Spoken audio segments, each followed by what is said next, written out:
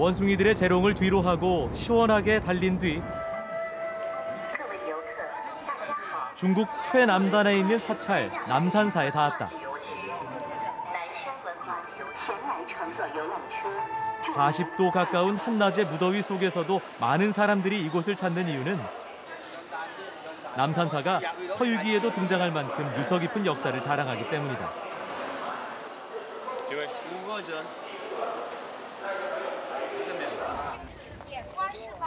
남산사는 당나라 때 일본으로 불교를 전파한 감진 스님을 기념하기 위해 무려 450억 원을 들여 재건한 불교 관광지다. 이곳 해수관음상의 길은 108번뇌를 상징하는 108m, 세계 최대 높이를 자랑한다.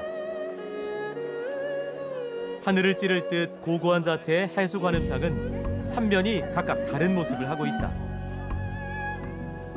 한쪽은 경전을 들고 또 한쪽은 연꽃을 나머지 한쪽은 염주를 손에 들고 있다. 经书是代表的是智慧，然后莲花代表的是和平，然后那个佛珠代表的是慈悲。 사람들의 모든 염원은 간절하다.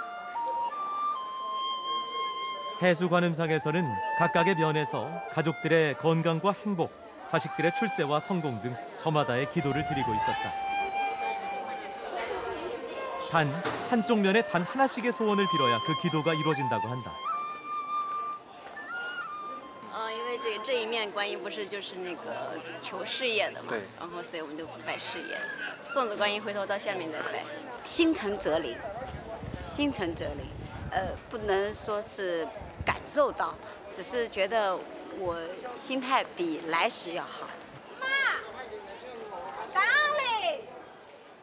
종교가 없는 무신론자지만 나도 모처럼 기도를 청해봤다.